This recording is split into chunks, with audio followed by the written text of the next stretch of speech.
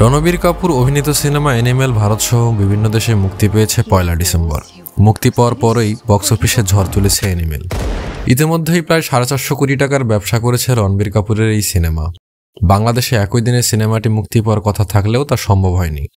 নানা জল্পনা কল্পনার অবসান ঘটিয়ে গত সাতই ডিসেম্বর রণবীরের অ্যানিমেল মুভিটি বাংলাদেশের প্রায় আটচল্লিশটি সিনেমা হলে মুক্তি পায়। আগামী আহ, মোটামুটি এক দেড় সপ্তাহ পর্যন্ত পুরো টিকিট বিক্রি হয়ে গেছে। বলিউডের এই সিনেমা বাংলাদেশে আমদানিকারক প্রতিষ্ঠান অ্যাকশন কাট এন্টারটেনমেন্ট অডিয়েন্স ছবি দেখতেছে আগামী চার দিনের সব টিকিট সোল্ড আউট এটাই অ্যাচিভমেন্ট মুক্তির প্রথম সপ্তাহের পর ছবিটি তার দ্বিতীয় সপ্তাহ বক্স অফিসে আধিপত্য ছড়িয়ে যাচ্ছে।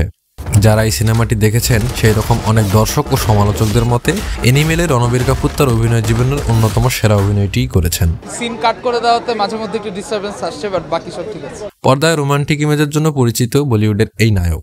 এবার তিনি অ্যাকশন নিয়ে হাজির হয়েছেন। অ্যাকশন ঘরানার এই সিনেমাটি বানিয়েছেন সন্দীপ ভাঙা। অ্যানিমেল সিনেমায় রণবীর কাপুর এবং অনিল কাপুর পিতাপুত্রের চরিত্রে অভিনয় করেছেন। বাবা এবং ছেলের মধ্যে যে মতের বিরোধ তাও উঠে এসেছে এই সিনেমায়। এছাড়াও গুরুত্বপূর্ণ ভূমিকায় রয়েছেন রাশ্মিকা মান্দানা, খলনায়ক চরিত্রে দেখা গিয়েছে ববি দেওলকে। এই সিনেমায় ববি দেওলের অভিনয় সবার নজর কেড়েছে। হিন্দির পাশাপাশি তামিল, তেলেগু, কন্নড় ও মালায়ালম ভাষায় মুক্তি পেয়েছে এই সিনেমাটি।